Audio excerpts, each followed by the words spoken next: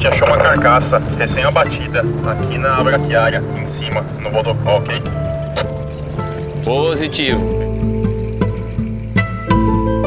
Depois de 10 anos trabalhando, tem medo? Tenho. O medo que me mantém alerta, eu tenho receio de que um animal se machuque, eu tenho receio que aconteça alguma coisa errada com alguém da, da equipe. Se eu vou salvar a onça, eu acho que é muita presunção. Eu, eu gosto do que eu faço.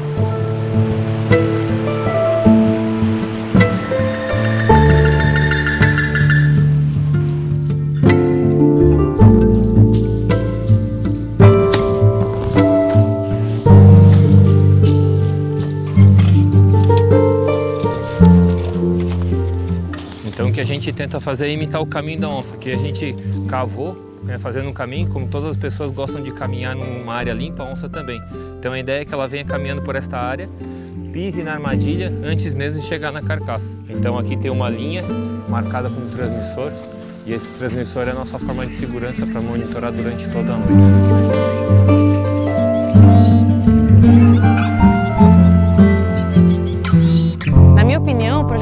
Safari ele é muito importante para mudar a concepção do mundo atual.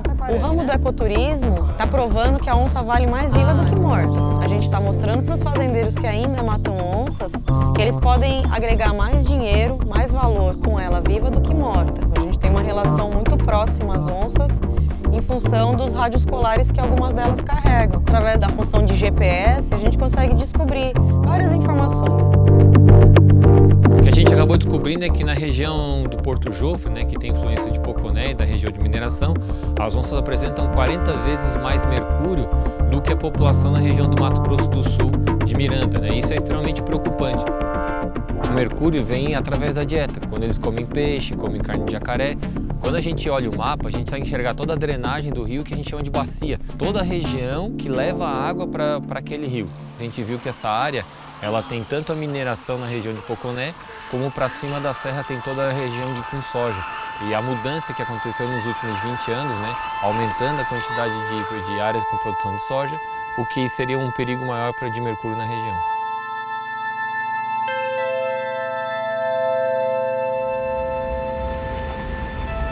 Todo momento é um momento bom para capturar onça. Ela também não quer saber se são 10 horas da noite, 3 horas da manhã. Aqui não pisou, mas nem foi ali. Esse eu acho que é o, é o grande exercício da captura, é paciência, paciência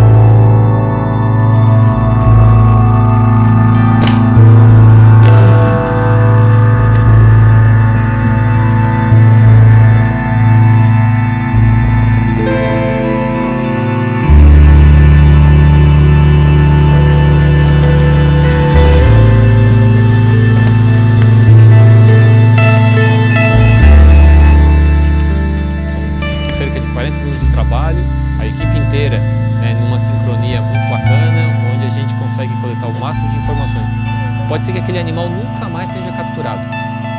Então a gente tem que coletar o máximo de informações possíveis.